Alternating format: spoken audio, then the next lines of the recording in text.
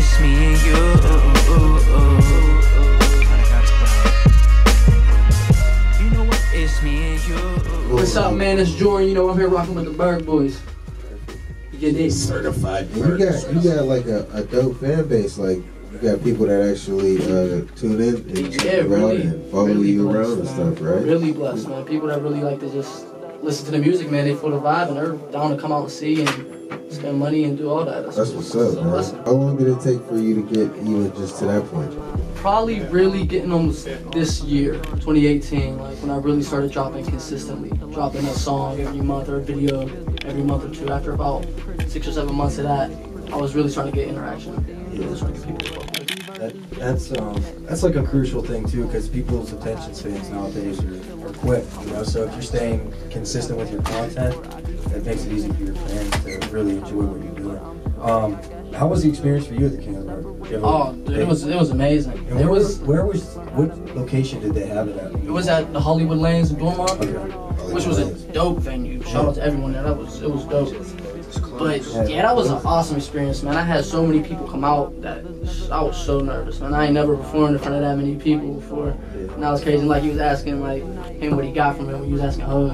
One thing I got, man, breath control, man. I was out of breath like a month. I, bro, I was, I was watching the videos, I was screaming and shit. I was just so hyped on my pussy. I was screaming. But no, it was it was it was dope. It was super dope. When was the first project you really released? It was like an official project. What was the Probably why not? I dropped it on SoundCloud maybe like what Virgo 2013.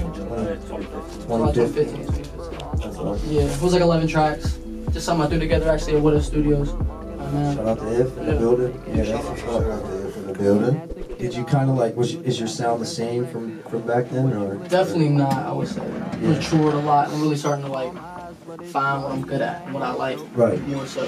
And then I was doing more like, you know, covers of remixes and that kind of stuff and I was really trying to find specific beats that really fuck with my flow type. right now um, to where you are now? You have some new material that you're getting ready Yeah, to drop. yeah. I actually got a my first serious project. It's called Light Soul. It's all produced by Big Jerm, and so I'm really The whole excited thing, about the whole yeah, the whole thing by produced by Jerm. Jerm, mixed by Master Bomb. We did it all up here actually before he got out of here. yeah, before you went to That's ATL. dope. Yeah, That's awesome. so that was a dope experience to get in the light with him. It was huge, and I actually got we got another one in the top too. Good. Another one top Good for you guys, man. Big Jerm's a good dude. Do you plan on going back to defend your crown at King of the Burgh?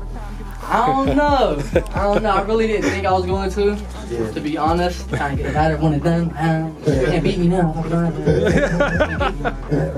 Fuck around. I'm But, going back. yeah, Come but. I'll, I'm definitely gonna go to the next one. Yeah. I don't know if I'll perform. I'll definitely be there. Word.